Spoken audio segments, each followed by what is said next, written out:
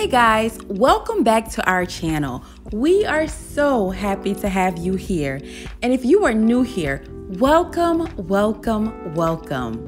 If you are a returning subscriber, we are so happy to have you back watching another one of our how to cooking videos.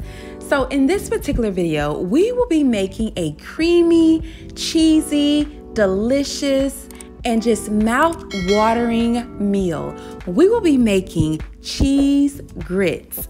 Now, if you're anything like me, I used to struggle with making cheese grits in the past, but I have perfected my recipe, and hopefully, this recipe will help any one of you who may have trouble making grits or just want to perfect your recipe altogether. So, if any of that sounds like you, I would encourage you to keep watching.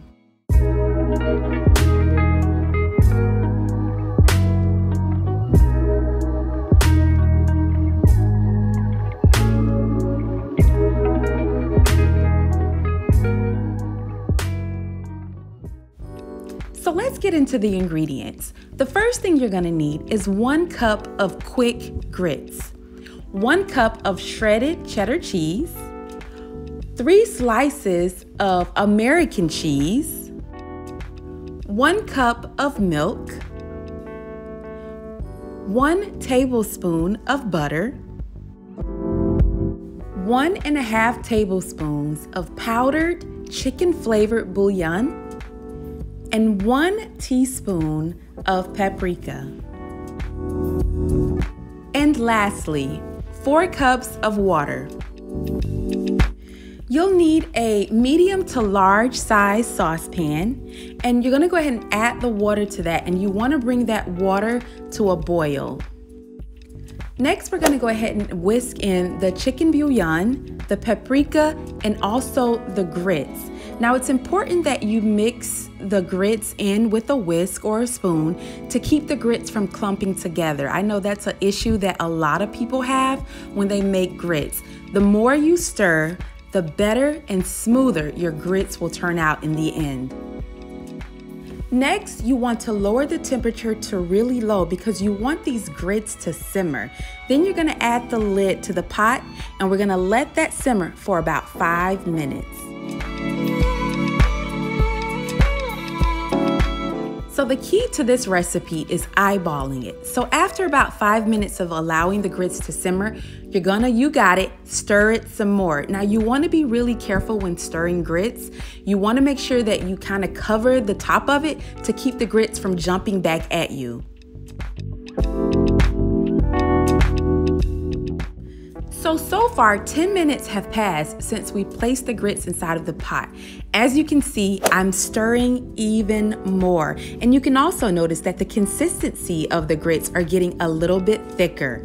That's what we want. So once it gets to that consistency, you wanna go ahead and add the milk. You don't want them to be too thick and clumpy before adding the milk because that's a little bit more elbow grease. So you want to stir in the milk and get it in there nice and slowly and stir some more. Remember guys, the important thing with cooking grits is stirring. It's so important. After adding the milk, now is a good time to add the butter.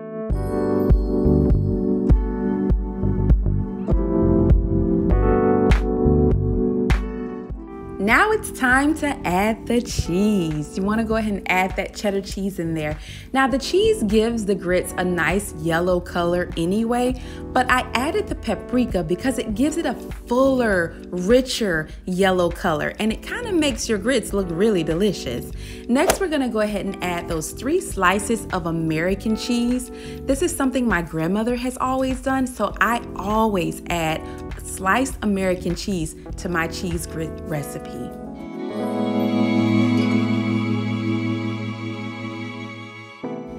Now that we have the cheese all mixed in, you can see the consistency of the grits has changed quite a bit. It's still a little bit runny, so we're gonna add the lid and let it simmer for about five minutes.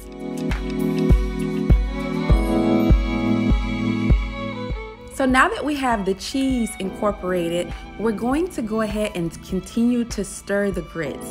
Guys, you know what happens when you add cheese to any potted meal, cheese sticks to the bottom. So you want to make sure after five or so minutes, you continue to stir.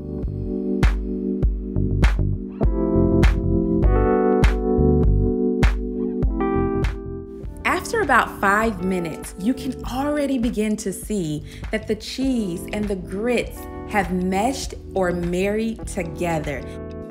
So at this point, we're not gonna add the lid, but we're gonna let it simmer for about five more minutes uncovered. And this gives it time and an opportunity to breathe and thicken up even more.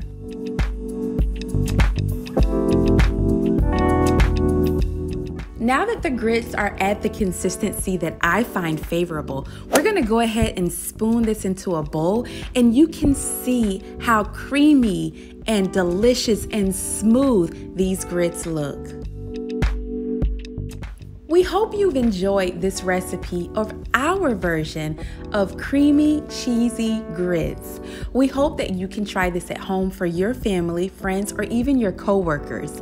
You can always modify the recipe to your liking. We want to thank those of you who have come back to see us here, and for all of you new amazing subscribers, we are so grateful to have you.